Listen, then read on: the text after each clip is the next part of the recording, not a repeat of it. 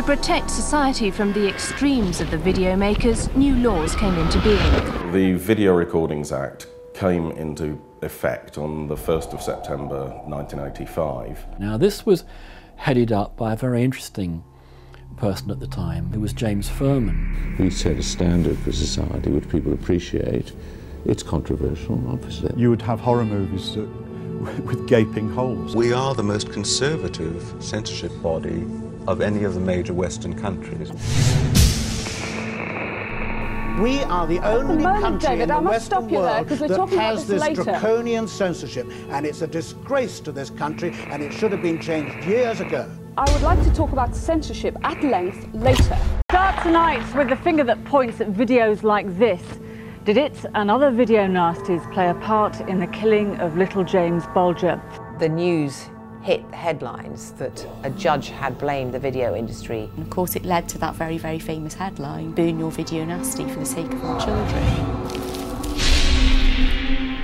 That is probably why primarily the horror black market started because the BBFC were just cutting so much. It stimulated creativity and social networking. There was this major network, and a lot of our information came from um, fanzine press. I think anyone that did a fanzine was saying fuck you after the video nasties. There was a thing where it was very clandestine, you know, it was like getting hold of drugs or something. It's illegal, isn't it? So You'd be sweating.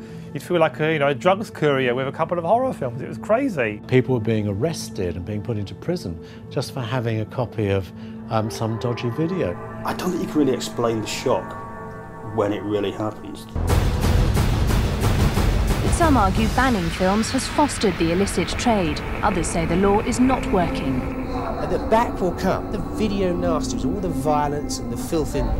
And my very modest measure seeks to sort out those like Child's Play 3, which contains graphic and gratuitous scenes which should not be available in anybody's home. He was genuinely of the view that unless you banned these things, then society would actually collapse. It was that apocalyptic.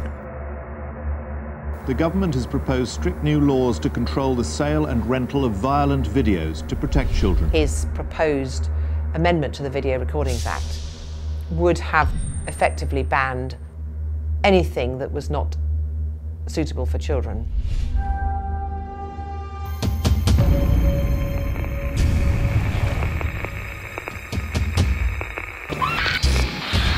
Well, this will have to be cut. The Director of Public Prosecutions decided that the only feasible way to deal with the video nasties was using the Obscene Publications Act. And he divided them up into a list of titles that he felt were so obscene that they would be the kind of titles a jury might find obscene in a court, Section 2 titles, but also he had another secondary list of titles where he was perhaps not confident that a jury would find against them. And so those titles he added to a second list of uh, so-called Section 3 videos. But that would mean that that film always had this tarnished image and this sort of aura around it of being unacceptable.